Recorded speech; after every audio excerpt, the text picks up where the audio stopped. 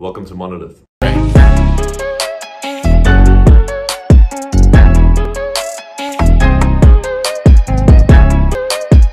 Saturday today, I'm going to be doing some big compound extras, starting with the ab warm up and then moving into the squats.